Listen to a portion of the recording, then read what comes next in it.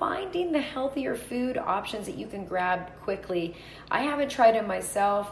Um, I have several people that I know that enjoy like the Trevally uh, burgers. I think they have beef, pork, and chicken burgers that are individually wrapped and they can go in your in your freezer for you to cook real quick that are uh, responsibly raised you know meat products I know in our family, my husband and sons, they love to snack on like little crackers before dinner time. And if it's the weekend, it's beer and crackers and maybe some nuts out or, you know, salsa or whatever. So I found Simple Mills, M I L L S, has a very minimally processed cracker line probably about four actual ingredients like almond flour, coconut flour, arrowroot powder, or, or cream of tartar, or something like that in it. But then after that, it's just a series of spices.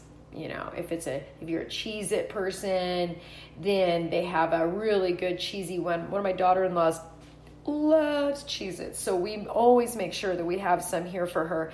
And the funny thing is, they're really, really rich and they actually are made with cheese, which is kind of cool. You can just enjoy them and realize, wow, even though I'm eating what appears to be a Cheez It, it's, it's minimally processed, has healthy fats, healthy proteins in it, and um, I'm actually eating a nutrient dense, clean cracker, which is great. That is a convenient food that we buy around here.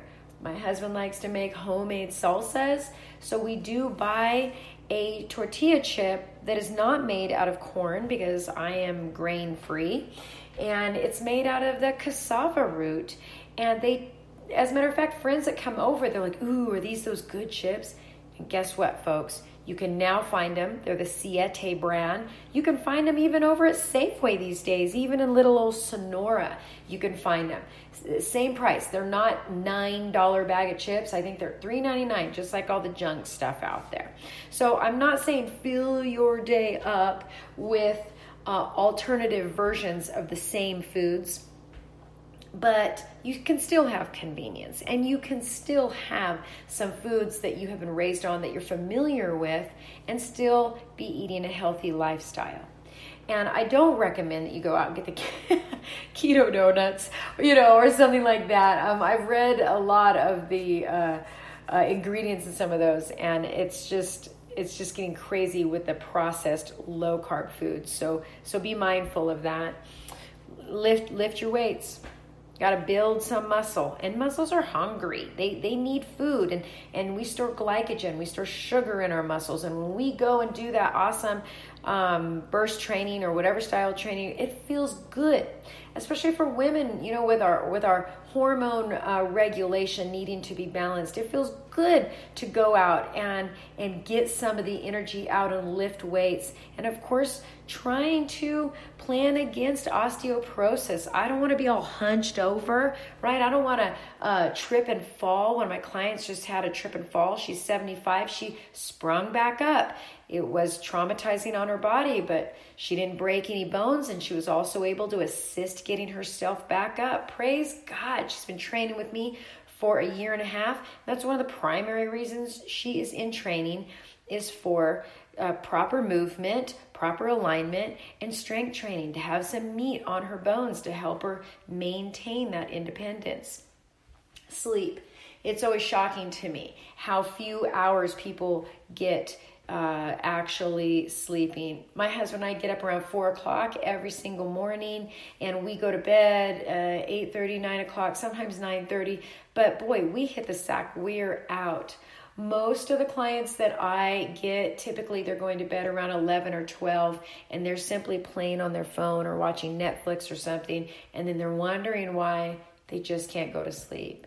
And so, sleep aids, uh, sleeping medication is not an uncommon thing for me to see. Also, um, anxiety medication in a lot of my clients, which gets rectified when we swing your eating and you're moving and you're resting and you're sleeping around. One last thing is stress management. Actually, meditating, uh, journaling, breathing. I cannot stress to you the importance of it. Um, I love yoga. I recommend for uh, people to, to have that quiet space and time, but you really need to gauge what kind of yoga environment you are in. Is it just a social environment for you? Are you actually really able to sit and breathe? Is it nice to have the instructor, or do you find that you're distracted? Are you just worried about what you look like to everybody else in the room? If you find yoga to be too distracting, live in person that I suggest that you look on YouTube or there's lots of apps like the Gaia app I really enjoy G A G A I A app that you can do it on your phone on your on your desktop or you know whatever and and you could do it without all of those distractions because we really need you to manage that stress. I find journaling um, awesome. I do my venting. I do my intention for the day. I do my self improvement for the day. I'm a Christian, it's very prayerful, and I just find it a necessary part of balancing my very busy, rather uh, could be rather stressful life, but I don't feel stressed because I manage it every day. And then, of course, your hydration that we've already talked about. So, yeah, how do we remove the stubborn fat? You got to remove the Franken foods, guys. Everybody knows it, they just don't want to do it. right? When you believe what you are hearing, when you believe that, then you're going to make changes. And sometimes I say to my students, you have to fake it until you make it. I'm going to continue to to give you the information. I'm going to continue to share ways to make this kind of lifestyle uh, change a nice, smooth transition and blend for you if just listening isn't enough, if you still feel like you are wandering alone out in the desert, please give me a call. I got a new phone number 209 284 5575. Yeah, it's pretty cool. It's 209 284 5575. That's Brandi Loyd Personal Training, Holistic Nutrition. You can also check out my website and you can see some of the physical evidence of my, some of my students once they have employed this. But it's not really just the physical evidence, it's listening to them about the lifestyle cha- changes, uh, the lack of cravings, the ability to go for long periods of time without eating and not being freaked out or not, not feeling good, and how that does free you, how they don't have to worry about the effect of toxins in their lives um, or the damage from their prescri- prescription medications. When you get to a point of belief, it's amazing.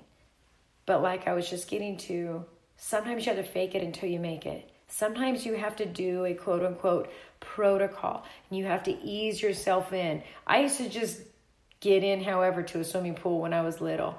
And now I can only do it two ways now. I remember my mom being kind of the same way, and I was like, why are you getting in the pool like that? She would ease in a little bit, a little bit, a little bit of the time and transition until she was in. Of course, then most times she didn't get her hair wet.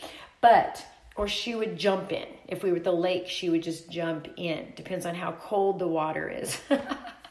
I totally understand it now that I am her age and as I think back at those memories.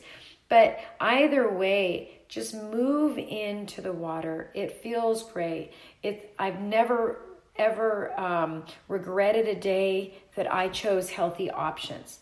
I've never regretted a day that I have eaten in such a way, or a week, or a month, that I can have that glass of wine whenever I want with little to no consequences because my body's ready for it. And now I could actually take advantages of the good properties in, say, a nice glass of red wine. So that's what I hope for you. I hope that you come to a point of belief. I hope because of that belief or that desire to believe it, that I hope you maintain your education and you continue to seek out ways to improve and change your life. And with that, I hope you feel empowered to keep walking because you're seeing the changes. And I hope that they are actual lifestyle changes and not diets. Please don't take this pill that is now going around, the magic pill, the magic, this will fix everything pill. If it sounds too good to be true, I'm just going to say it without even seeing this pill. It is. There's nothing you can rub on that cellulite that's going to make it go away. There's no magic pill that you're going to take. What was it, Jack and the Beanstalk, right? He had the three magic beans. What ended up at the top of the beanstalk was a giant that almost killed him, right? I've actually like seen people grab these magic pills and almost lose their life because of them. So you just have to do the work, my friends. And it's going to seem maybe a little bit about work in the beginning, but pretty soon um, it'll be easy peasy and you'll be sharing the love and paying it forward in a similar way that I am inside your own house and your own life and your own circle of, of work friends and friend friends and extended family. And so I wish you well. If you need help, please give me a call. I do distance coaching, I do local coaching. Not everybody sees me three times a week. Sometimes it's once a week, every other week, once a month. We check in and do coaching or quarterly kind of stuff. But but a big part of the coaching is not only just coaching you forward right? In some of these lifestyle changes, it's also looking at your history, right? And also really doing some lab work and finding out exactly where you are right now. Because if I'm telling you that you can have coconut oil and then you're super allergic to coconut oil, that's a problem. And we don't know that until we've done certain testing. So I wish you well. Um, I wish you good health. And please share this with other people. I'm, I'm paying it forward to you.